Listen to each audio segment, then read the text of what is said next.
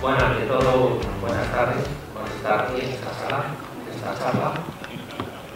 Es una hora un poco crítica, yo intentaré evitar que os durmáis, pero bueno, reconozco que esos sillones me lo van a hacer con, me lo van a dificultar. Eh, brevemente me presento, me llamo Ángel, Ángel Martínez, eh, llevo ya bastantes años en el sector, entré con el pelo negro, ya lo tengo como bastante blanquito y bueno, siempre en los dominios de banca, seguros y sanidad. Eh, actualmente estoy en grandes sistemas en el área de arquitectura de soluciones y dentro de ella pues es un equipo de trabajo cuyo uno de los pilares neurálgicos pues es una pieza que es el DLT, ¿vale? un distribuido. Respecto al título, es bastante largo, pero voy a decir unas cositas. Eh, he traído cartas, me he traído balones, aquí de gamificación no, no vamos a hacer nada. Quiere crear una criptomoneda, tampoco vamos a crear una criptomoneda. En todo caso será un toque. Luego veremos las connotaciones. Eh, el mapa que tengo en mente, pues bueno, simplemente brevemente os explico lo de la gamificación, cómo lo hemos puesto eh, en nuestra empresa, en qué caso de uso, en qué proyecto, los componentes que hemos tenido que implementar y luego pues unas ideas, unas características que me parecen muy interesantes, ¿vale? sobre todo para compartir con vosotros. Eh, Metamask, un login, una persona en producción, etc. La gamificación, ¿vale? o ludificación, como, como he visto en otros foros. Pues es sencillamente las técnicas las prácticas que hay en los juegos, en los videojuegos, pues llevarlo al campo empresarial, al campo educativo, al campo de publicidad, marketing. Esas técnicas pues, son las, las típicas cuando estamos jugando, ¿no? Pues, por ejemplo, eh, el tema de eh, explorar, explorar un mundo, recoger cosas, llenar tu mochila, aumenta la curiosidad, ¿no? Eh, como con ganas de aprender. Eh, luego el tema de trabajo en equipo, ¿vale? hay juegos que son, son totalmente de, de, equipos. Luego también hay otros mecanismos como son las clasificaciones, los niveles, las insignias, las medallas, ¿no? eso también te motiva de alguna manera. Y sobre todo tener un feedback rápido. ¿vale? Tú haces algo un juego y obtienes la respuesta rápida. ¿vale? No tienes que esperar 3, 4, 5 meses para que alguien te diga algo, si llega el caso. ¿vale? Entonces, pues esas, esas, esos mecanismos, pues, los pedagogos, psicólogos, sociólogos, pues piensan que bien llevarlas a cabo en estos entornos, pues es bastante provechoso, ¿vale? Para, en este caso, en el mundo empresarial, pues para los empleados, para la plantilla. ¿Por qué? Porque refuerzan la psicología positiva, es decir, refuerzan la seguridad, refuerzan el poder aprender, eh, la comprensión lectora, la comprensión oral, eh, sobrellevar mejor las condiciones adversas que te puedes encontrar en el trabajo, etc. ¿vale? Y por otro lado, pues evitan de alguna manera pues, el estar delante de un ordenador pues, aburrido, apático, con pereza, desinterés. ¿vale? Eh, entonces, pues con, con esta premisa, pues parece que habría que instar a las empresas a quiero jugar, ¿no? quiero más entusiasmo y eso pues va a repercutir en un mayor aprendizaje, eh, gente más, más versátil y un mayor compromiso.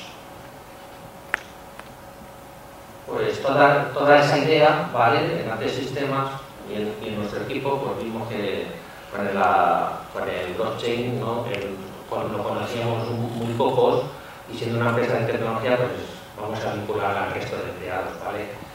Entonces, pues, eh, ideamos pues, eh, una, una, moneda, una ficha llamada Decoin, ¿vale?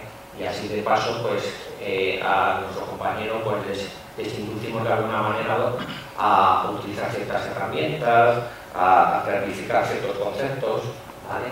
Etcétera. Si es una ficha, de alguna manera, pues tendríamos también que pensar qué operaciones, qué procesos en la organización pueden existir para que de alguna manera pues, podamos obtener esas fichas. ¿no? Y la verdad es que aparece muchísimo. ¿vale? Montar un webhook, un Gira, de forma que un usuario cuando transite una incidencia o una asistencia pueda ganar AT points, ¿vale? entregar un reporte mensual en fecha, podríamos recompensar también, eh, redactar un post en el blog corporativo, ¿vale? y si además tiene visita, pues también se puede recompensar, se puede incentivar. Y luego pues los, los famosos, esos agradecimientos, pues de alguna manera pues también dar valor ¿vale? a, los podcasts. Hasta, hasta ahora, vale, yo tengo, vale, yo como empleado, es mi motivo, nada, trabajo, tal, y consigo esos arreglos, ¿vale? De alguna manera pues los tendría que canjear, ¿no? Redimir de alguna manera. Pues también hay que montar, o hemos montado pues, un pequeño e-commerce, ¿vale? Con ciertos artículos, ¿vale? Para que puedas canjear. Entonces, ese, caso de uso, pues lo estructuramos en varios componentes, ¿vale? Componentes que necesitamos, pues el API, ¿vale? El criptoactivo, ¿vale? que es un bien, ¿vale? que tiene un valor y que se puede intercambiar. Eh, ¿Por qué hemos dicho, he dicho antes un token? ¿vale? Porque aprovecho y aquí ya lo diferencio rápidamente. La criptomoneda, digamos que viene de ser en la red, en, el protocolo, ¿vale? en, la, en, en la red blockchain. Digamos que viene de forma nativa debida en la propia red, ¿vale? ese intercambio de valor. En cambio, los tokens están como una capa por encima, son como aplicaciones que se sustentan en, una red que ya existe. ¿vale? nosotros pues hemos construido la Tcoin, ¿vale? Pues es un token, ¿vale? Y aprovechamos una, la red efectiva. Eh, ya tenemos el pico activo sobre qué infraestructura. Pues en este caso trabajamos con Alastria, ¿vale? Basada en Quorum, prima hermana de Ethereum, compatible a nivel de smart contract, y con la característica de que el precio del gas, el precio de la transacción, toda transacción cuesta pero luego al final se multiplica por el precio del gas y si ese, esa variable vale cero, pues al final la transacción vale cero. Y si no fuéramos socios de Alastria, ¿vale? es una red multisectorial consociada, eh, pues podríamos montar una sede privada. Tranquilamente con un algoritmo de autoridad y con una configuración igualmente con, con el atributo gas price igual a cero. Estaríamos en el mismo caso que Alastria. ¿vale? eh, pues ya tenemos infraestructura, tenemos el token, tenemos que montar un registro en el que se a los empleados, tenemos que montar esa tienda, ¿vale? Para poder canjear artículos, un microsite, eh, todos los componentes que nos van a proporcionar esos coins, ¿vale? Pues tendríamos que ver si pueden o no interactuar con la red de forma directa, con la red blockchain, y si no, pues proporcionar una pre ¿vale? en la que pueda informar que este usuario pues, ha conseguido esta cantidad. ¿vale? Un proveedor de identidad también para ver que, que fulanito realmente un empleado, etc. Y luego ya como empleado usuario final, necesito un mecanismo, un componente software que, me facilite poder trabajar con esas cuentas y con esas claves privadas, ¿vale? Lo que denominamos una billetera o ¿vale? Simplemente es un facilitador necesario. Puedes tú programar directamente tus transacciones, pero no, no, es el caso, ¿vale? Entonces usamos un wallet. ¿Vale? Eh, centrándonos en el Bitcoin y en los tokens, ¿vale? Eh, es verdad que la plataforma Ethereum ha, sido el puente para avanzar este tipo de modelo de negocio, ¿vale? Porque un token al fin y al cabo es, algo que puedes modelar, ¿vale? Como, como, un objeto de negocio, ¿vale? Eh, pero no es el único caso, ¿vale? Hyperledger también tiene su componente que, o Hyperledger Burro, que tiene una máquina virtual de serio, también puede trabajar con smart contracts. Eh, la blockchain o la red Tron, que la venden como una mejora de serio, también tiene mecanismos para crear tokens, etc. O sea, hay casi todos los protocolos existentes que, facilitan la creación en el mundo de Ethereum, ¿vale? pues tenemos esas, esos estándares EIP, ¿vale? Bitcoin es EIP, y eh, son propuestas a nivel protocolo ¿vale? para los que están modificando digamos, el repositorio open source de GitHub. ¿vale? Para desarrolladores finales, pues nos fijamos más en las RFC, ¿vale? porque son más recomendaciones estándares a nivel de la aplicación. Eh, y luego, pues, vale, y de un toque, ¿vale? Pues hay que tener cuidado, ¿vale? En cuanto a que si si lo vas a modelar o lo vas a utilizar como una inversión empresarial, ¿vale?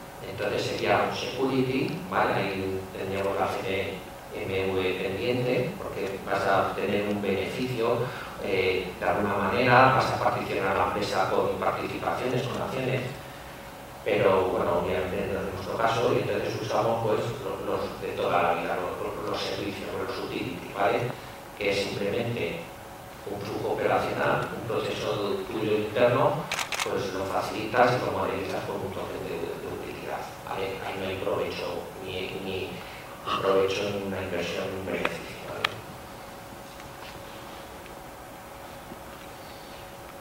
Eh, concretamente, los RCs, ¿vale? No todos los RCs son relativos a tokens, ¿vale? Pero los RCs que nos interesan son sobre todo el RC20, es un estándar, eso significa posiblemente una interfaz, posiblemente una especificación. Algunos son estándares, otros están en estudio, otros, otros están en versión graph, ¿vale? Eso pues hay que también verlo, Por si trabajas con uno y luego se te queda a mitad de camino, porque no, no es aprobado por la comunidad. El RC20 es el de, seguramente lo conocéis, Es el token fungible para modelizar tokens fungibles, objetos fungibles que simplemente pues, como se son objetos que se pueden sustituir uno por otro y una vez gastado lo puedes reemplazar por otro igual. ¿vale? El típico billete de 5 euros, pues el que y el que yo tengo, pues realmente vale lo mismo, aunque esté más arrugado o menos. Y si me gasto mi billete, pues puedo tener otro billete de 5 euros y estamos en la misma. ¿vale? En cambio, los 721 ¿vale? están construidos para, para objetos o tokens que tienen una individualidad, que tienen un identificador único. El ejemplo más típico pues, son las colecciones, ¿vale? por, el famoso CryptoKitties. Colecciones quiero decir por, la típica colección de cromos. Quizá mi cromo del delantero de este equipo, pues obviamente tiene más valor que quizás otro jugador de la de colección de cromos. dentro del conjunto de cromos, cada uno tiene una individualidad y tiene un peso, una ponderación. Eso serían los RC721, los, los tokens no fungibles. Pero hay mucho más en el mundo Ethereum, ¿vale? Tenemos, por ejemplo, los, el, los 23 y el 777 son mejoras del RC20, porque el RC20 fue el primero que se diseñó, y, bueno, los años han pasado, y se han generado nuevas especificaciones que, son más eficientes, ¿vale? consumen menos y son más seguras. Luego también tenemos el 998, que es el, compuesto, ¿vale? este es interesante porque podrías monetizar la compra y venta de, viviendas, ¿vale? es, un, es, un, es una composición jerárquica, ¿vale? ahí puedes monetizar de alguna manera el solar sobre el que se sustenta un chalet, puedes meter puedes modelizar también el chalet, puedes modelizar las habitaciones, los televisores, los muebles, y ese, y ese conjunto lo puedes meter en un 998 y poder trabajar con él, ¿vale? O poder, poder comercializarlo de alguna manera, ¿vale? Transferirlo. Luego tenemos otro token interesante, el 1155, ¿vale? Que está orientado a videojuegos, ¿vale? Es decir, es como el anterior, es un conjunto de tokens, ¿vale? digamos que es un agrupador, pero no hay jerarquía, es simplemente una colección. ¿vale? En el caso de, los juegos, pues es útil, por ejemplo, si tú quieres tener tu avatar, el famoso enano. El famoso enano tiene siete corazas, varios pares de botas, tres espadas, pues todo ese conjunto, si lo modelizas con tokens RC20, tendrías que tener uno por cada objeto. Y si yo lo compro o lo vendes, tendrías que hacer N transacciones. ¿vale? En cambio, con el 1155 en una única transacción transfieres la propiedad y la posesión de dichos tokens. Venderías el avatar entero de, de Y luego el último es el RC 400, pues que te ayuda, es una plantilla que te ayuda a modelizar pues, los tokens de seguridad que hemos visto anteriormente. Eso como cultura. Nosotros nos centraremos ahora en el RC20. El RC20, así a grosso modo, pues esa es su especificación, ¿vale? Seis métodos, dos eventos en lenguaje Solidity, ¿vale? Todo Smart Contract que, que respete esa especificación se convierte de manera automática en un token RC20, ¿vale? Entonces nosotros le podríamos pensar, bueno, pues vamos a implementar estos métodos, Solidity, IP o cualquier lenguaje. Está claro que son lenguajes un poco feroces, difíciles, eh, variables de bajo nivel, eh, métodos también muy cercanos a la máquina virtual de Ethereum y seguramente vamos a cometer errores, vamos a perder tokens por el camino. Entonces, ¿qué, ¿qué, sucede? Pues, pues, como en cualquier comunidad open source, pues aparece, por ejemplo, la empresa OpenCPI, ¿vale? y es un actor muy activo, tipo consensus, muy activo en la comunidad. Vale, anteriormente era CPI Solution, ahora se ha redenominado a OpenCPI. Y OpenCPI pues tiene dos grandes proyectos en su página web, ¿vale? Un repositorio open source de implementaciones de contratos de RCs, ¿vale?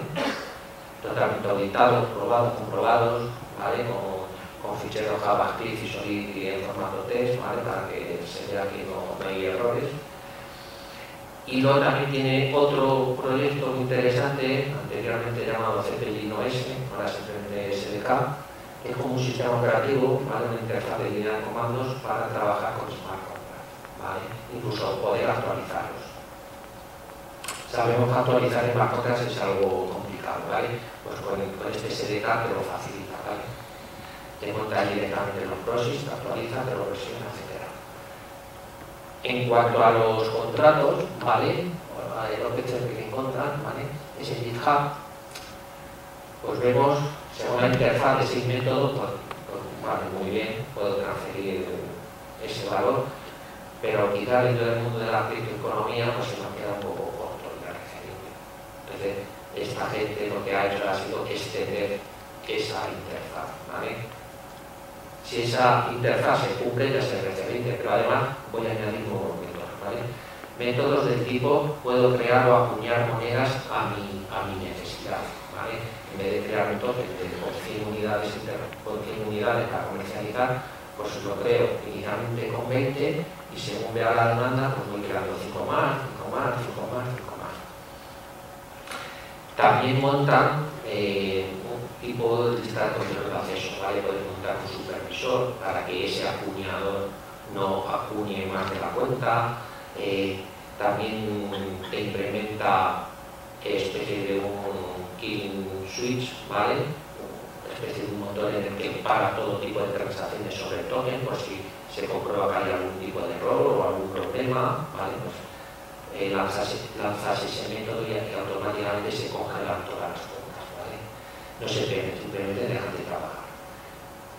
Y luego otro también método interesante es el de quemar moneda, ¿vale? Imagínate que yo comercializo en un año 100 monedas, vendo solo 80 y esas 20 restantes, pues para no hacer que fluctúe el precio, pues las desaparecer del mercado, ¿vale? Como un cliente final, pues quizá porque se hace propietario con ellas, a ver si las mete por ahí o las va manejando y a mí ya no interesa, me puede hacer perder mi valor de lo que he comprado. Pues tiene razón también de hacer a que se Hasta ahora estamos intercambiando tokens, ¿vale? ¿Qué pasa si te interesa, ¿vale? Si a mí no me llegan tokens o no soy capaz de ganarlos de alguna manera, yo nunca tendría tokens. Pues porque, porque no implementamos una compra y venta de tokens apoyándonos en la criptomoneda Ether que está ya en la red. ¿vale? Entonces tú puedes montar unos métodos de compra y venta ¿vale? usando el msg.value, es el, valor de Ether, estableciendo unos precios, por ejemplo, este. Cada token vale 5 Ether. ¿vale? Pues si yo te, transfiero 10 Ether, pues automáticamente he comprado dos tokens. ¿vale? Por lo tanto, hay bastante, bastante variabilidad en este tipo de tokens.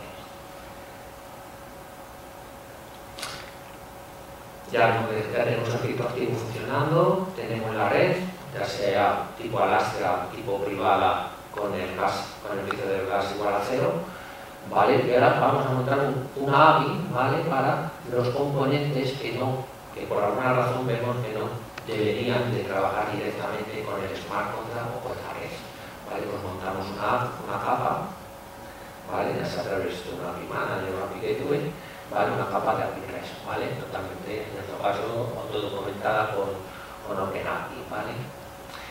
Y es una API REST que, por ejemplo, eh, plataforma de escritorio, JavaFX o algo así, pues puede lanzar directamente, ¿vale? Llaman a una API REST y ya está, aplicaciones basadas en Node, no, no hay ningún problema. Pues ya tenemos también integracionar, eh, la integración con componentes que están fuera, digamos, de, del mundo del mundo ¿vale? Vale, ahora lo que necesito es ese famoso wallet, ¿vale? ¿Qué hacemos? Vamos a utilizar Metamask, ¿vale? Metamask, año que pasa, año que tiene más funcionalidades, la UI es muy atractiva y, y está cogiendo peso, ¿vale? Es un plugin para ciertos navegadores, ¿vale? Pero también es una aplicación nativa para Android e iOS, aunque esté en beta, es totalmente funcional. Y bueno, pues es un plugin que lo instala, configura la, la, semilla que te genera los números aleatorios para tus claves, tus claves secretas, eh, tu PKI, digamos, y de repente pues ya tienes las cuentas en el navegador, ¿vale? Te sirve para conectarte al mundo de las claves, ¿vale? Eh, el MetaMask. ¿Qué pasa? Que MetaMask no conoce las redes que, tenemos, obviamente, solamente conoce la de producción y las diversas redes de test de cero, ¿vale? Entonces hay que configurar la red. Este, esa, eh, o sea, tienes que configurar el nodo de conexión a tu red privada o a tu red ya ¿vale? En este caso es, tan sencillo como montar eh, el bot, ¿vale? El RPC personalizado, donde no dispone la, ¿vale? la application RPC. Un asistente IP, puerto, chain ID o network ID y, ya está. En nuestro caso, pues una vez que ya tenemos una cuenta, vamos a registrarla en la plataforma de, de sistema, ¿vale? Usuario, contraseña y cuenta, ¿vale? Esto lo hacemos pues un poco para tener especie de un dashboard, para ver qué empleados han dado de alta, ¿vale? Qué cuenta maestra tiene, porque tú luego en Metamask puedes cargar la cuenta que quieras. Pero aquí guardamos una maestra, una cuenta principal, por así decirlo. Por si se nos escapa algún flujo, poder la empresa transferir a Decoins a un usuario directamente, ¿vale? tenemos un catálogo de, empleados y sus cuentas. Respecto a la pues lo mismo que en las redes, en Metamask desconoce qué tipo de redes hay en el mundo, igual que los tokens, puedes crear tantos. Entonces tienes que dar de alta que Metamask en la Bitcoin, ¿vale? Tan sencillo como de dar a la pestaña token personalizado y decir en esta red, la LIGE, la que, la que he definido anteriormente, en la dirección X está desplegado mi, mi token.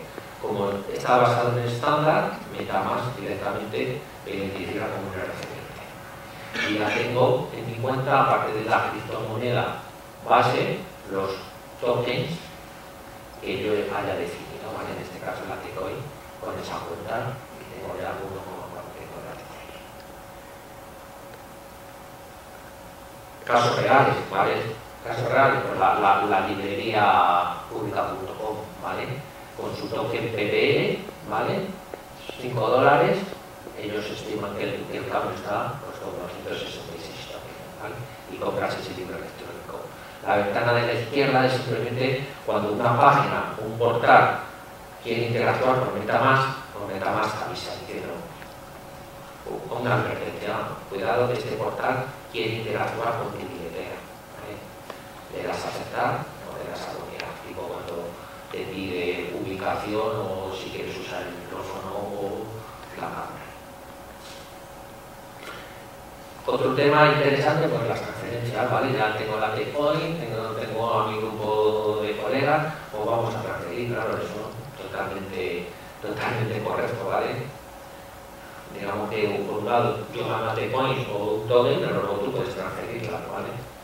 Ya mismo en un mercado negro o lo que sea, pero tú puedes transferir ahí tus tokens, ¿vale? Totalmente traceable, ¿vale? Importante ver que el precio del gas es cero, ¿vale? Y no, te, no tienes ninguna comisión, ¿vale? Porque la red te lo permite.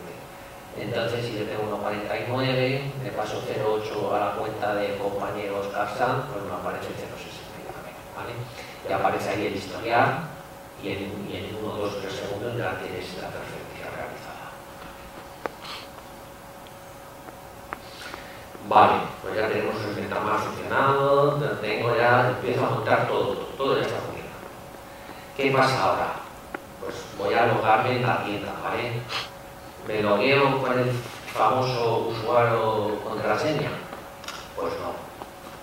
¿Qué quiero decir? Porque el MetaMask, aparte de ser una billetera, es algo más. El MetaMask lo que hace es inyectarte en tu página web un objeto web 3. ¿vale? Entonces, con código JavaScript puedes interactuar con él y eso significa que puedes obtener las cuentas del MetaMask, a qué red me conecto, si el usuario cambia, ¿vale? Hay listeners ahí que te avisa, eventos que te avisa. El usuario ha cambiado de cuenta, el usuario ha cambiado de red. Puedes obtener, eh, puedes hacer llamadas directamente a, la red, ¿vale? Y una de las más importantes, igual que transfer, el transfer, es el sign, el firmar, ¿vale? tú puedes hacer que el usuario firme con su cuenta. Obviamente, él tiene que dar la aceptación. ¿Qué significa eso? Que ahora mismo pues, podrías identificar o podrías logarte en portales con una cuenta cero, ¿vale? no necesito nada más. Al fin y al cabo, en la red blockchain son las cuentas las que hacen el, el, manejo de la red, no nada más. ¿vale? Que yo ponga a Martínez o J. García y cosas así, es, no es necesario, es la cuenta. ¿vale? La cuenta, la clave pública, la dirección o la cuenta lo que identifica es tu segmento, digamos, en las redes de este tipo. ¿Qué significa eso? Que es poderoso, ¿vale? Poderoso en cuanto a que tú puedes hacer que el usuario firme cualquier mensaje, ¿vale? Con una cuenta, ¿vale? Con su PKI. Al fin y al cabo, MetaMask es una bóveda, es un baúl de, de contraseñas de clave privada, ¿vale? Del usuario, como que diga aceptar con esta cuenta, como él ya sabe las claves privadas, pues directamente te las maneja es interesante porque, claro, porque podría saltarte un mensaje, ¿vale? Más que te va a avisar diciendo, oye, que aquí alguien solicita que firmes algo, ¿vale? Con, esta cuenta. Pues imagínate, pues, pues, puedes firmar lo que quieras, ¿vale? Puedes firmar y ahí ya queda registrado en la red que la cuenta tal ha firmado un mensaje en unas condiciones o lo que sea. Eso existe en el mundo real, ¿vale? Por ejemplo, esta plataforma de, juegos, ¿vale? De granjas de, cannabis, ¿vale? Flower Patch, pues el login que haces es con tu cuenta de cero directamente. Firmas, porque al firmar estás dando, eh, estás indicando que eres propietario de esa cuenta, entonces directamente entras en la plataforma, ¿vale? Que luego haya usuario y contraseña, pues es un poco más por el, por el feeling, pero realmente tu identificador, ¿vale? Tu PK tu primer key es la cuenta. Otra plataforma también de juegos, token varios, ¿vale? Aquí esto es un juego de rol de cartas, ¿vale? Cada carta tiene, es una red de 721, pues para trabajar con él, para jugar, pues ahí no necesitas nada más que tener una cuenta y salvo, ¿vale? Entonces lo mismo, entras, firmas un mensaje diciendo, ¿quieres entrar? Pues firmas el mensaje. Y entonces, al dar a aceptar, pues estás ya indicando que es este. ¿vale? La 0, X, 8, 4, Esto cada vez, cada vez en el mundo se está, se está volviendo más, ¿vale? Lo firmar, utilizar el MetaMask, ¿vale?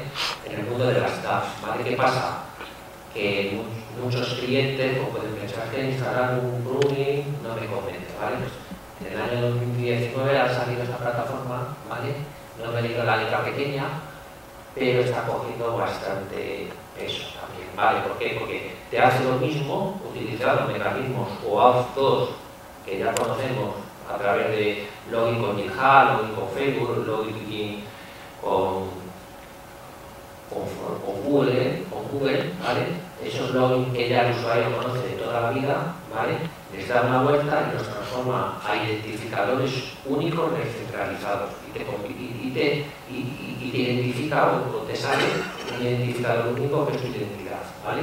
Sin ningún tipo de plugin. Entonces, el usuario ahí sí que ya se abstrae totalmente de cuentas, de direcciones, de redes. Yo por mi login en Facebook ya puedo acceder hasta la tranquilamente, de manera única. En arte sistemas, para entrar en la tienda, por lo mismo que lo que hemos estado hablando, ¿vale?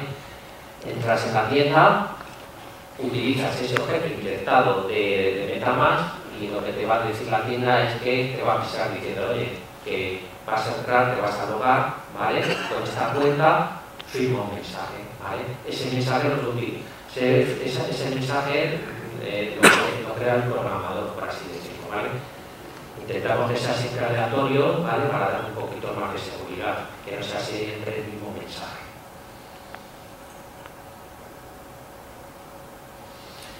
Y entonces ya tenemos casi todas las piezas.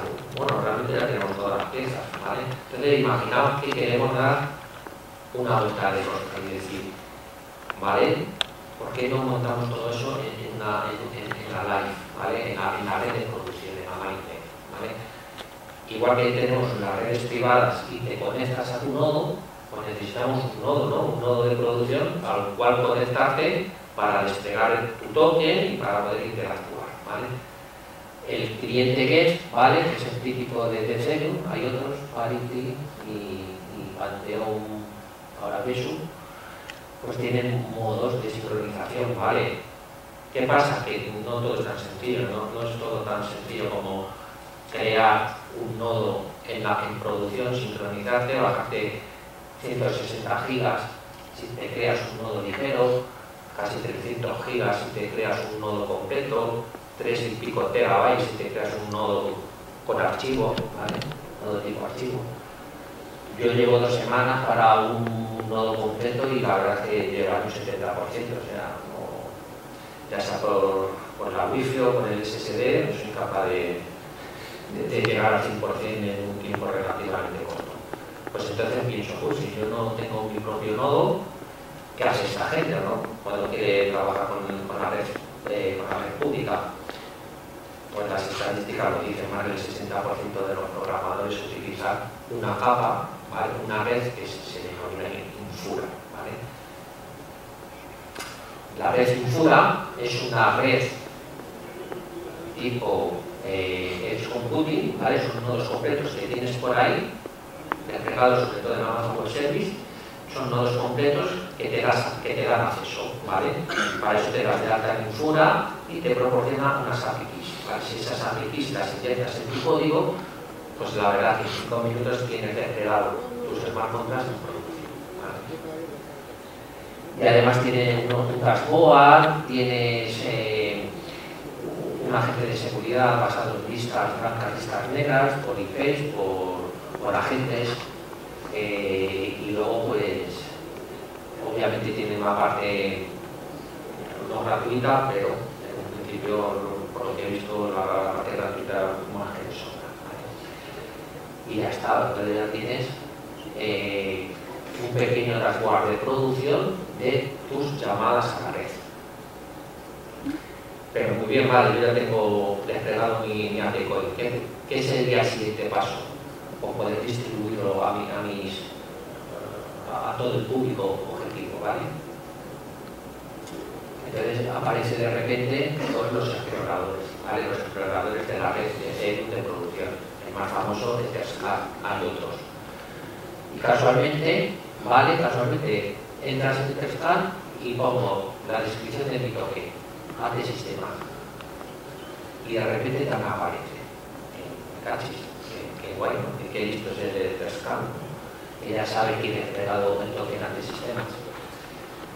¿Por qué? Bueno, la literatura tiene un algoritmo totalmente propietario, no, se sabe cómo detecta el despliegue de token, pero bueno, lo, típico es que pues, analiza el bytecode que se despliega en cada transacción y analiza el comportamiento de los eventos que saltan en la red.